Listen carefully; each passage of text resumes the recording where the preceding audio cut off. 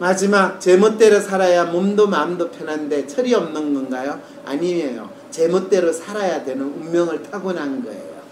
여기 이분 같은 경우는요. 어, 10월 달에 해봤더니 human하고 idealist가 비슷한데 idealist가 높은데 idealist로 살기에는 self가 떨어지고 human으로 살기에는 매뉴얼이 딱 일치해요. 지 마음대로 살아야 돼요.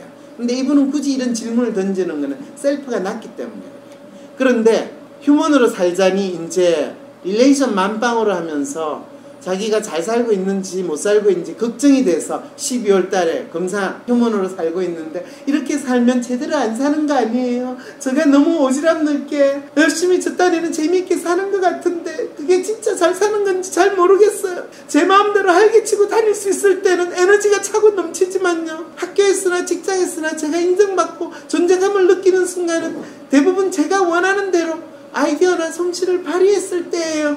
이럴 때 자기가 인정받을 때는 진짜 신이 나서 제 맘대로 가는 거예요. 그런데 휴먼 아이디어이 같이 있는 사람이 자기가 인정받고 살려고 하는 거는 진짜 자기 나름대로 내공이 누구한테나 인정받을 수 있는 어떤 스펙을 가지거나 아니면 돈을 많이 벌었거나 아니면 엄청 엄청 엄청 이쁘거나 아니면 엄청 모든 사람들한테 잘해주거나 이런 인간관계의 super ultra 성향이지 않고서는 쉽지 않아요. 그리고 더 놀라운 건요. human ideal 성향이 같이 있으신 분은 되게 다른 사람한테 열심히 퍼주지 않으면요. 금방 사람들이 그 사람을 재수 없다고 그러고 지가 뭐가 잘났다고 하는 소리를 들을 가능성이 아주 높은 사람이 돼요.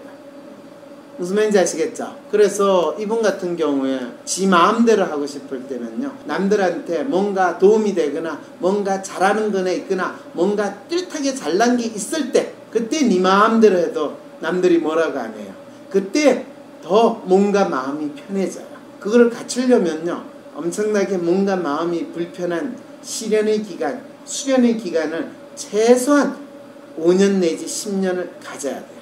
그 대신에 자기 똘마니 역할을 하는 인간을 확실히 찾아서 자기 마음대로 부릴 수 있을 때 휴머니스트 성향이 높은 idealist 사람은 5년으로 단축할 수 있어요.